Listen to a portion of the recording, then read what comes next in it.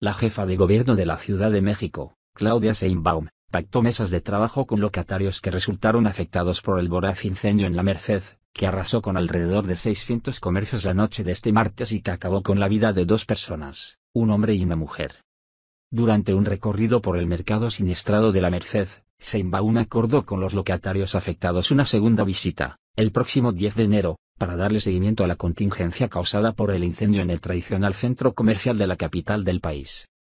Sheinbaum afirmó que, previo a su encuentro con locatarios, personal del gobierno de la Ciudad de México, resolverá la contingencia tras el incendio que afectó a cerca de 900 comerciantes evaluará las afectaciones y determinará qué cantidad de dinero se requiere para restaurar los 600 locales afectados.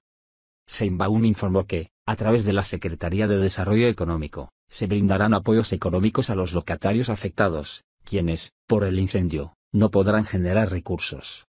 La visita de Claudia Seinbaum a la Merced, en donde fue recurrentemente cuestionada por los comerciantes, sirvió para poner sobre la mesa el tema del ambulantaje recurrente en esta zona comercial de la Ciudad de México. El incendio en la Merced que afectó 600 comercios. El voraz incendio, ocurrido en Nochebuena en la Merced, dejó los siguientes números. Dos personas fallecidas, un hombre y una mujer. Alrededor de 600 comercios afectados. Más de 800 locatarios perjudicados. Consumió principalmente la parte de la Merced donde se comercializaban frutas, verduras, semillas y piñatas. No se conoce aún qué originó este incendio, sin embargo, hipótesis apuntan que podría haberse ocasionado por gas, plástico flamable o pirotecnia, al interior de la nave mayor del mercado.